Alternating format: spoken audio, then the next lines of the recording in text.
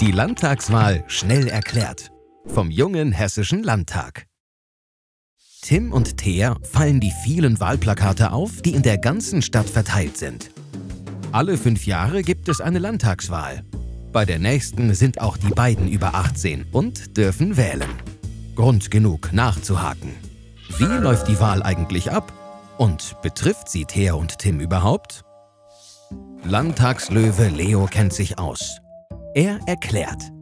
Alle Hessen mit deutschem Pass wählen bei der Landtagswahl ihre Vertreter im hessischen Parlament. Natürlich geheim und frei. Dafür haben sie zwei Stimmen. Eine Stimme für die Direktwahl und eine für die Landesliste.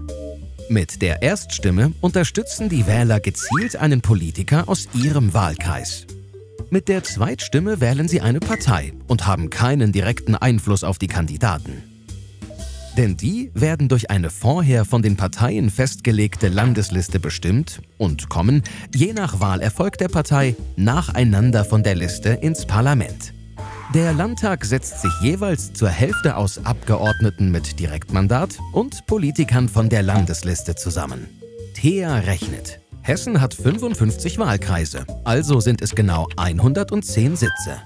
Dank der Direktmandate sitzt aus jedem Wahlkreis mindestens ein Abgeordneter im Parlament. Tim ist skeptisch. Und woher sollen die wissen, was seine Interessen sind?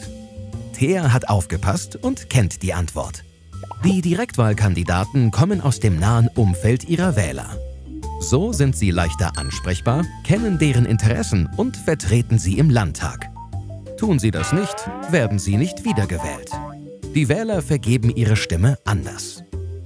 Nur wer wählt, kann auch mitbestimmen.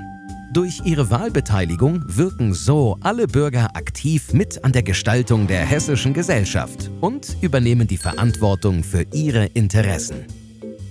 Weil es in einer Demokratie immer um Mehrheitsentscheidungen geht, kann jede Stimme die sein, die eine Entscheidung in die eine oder andere Richtung lenkt.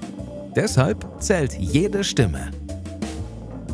Thea und Tim freuen sich schon darauf, wenn sie das erste Mal wählen dürfen und wollen noch mehr über die Wahlen in Hessen wissen.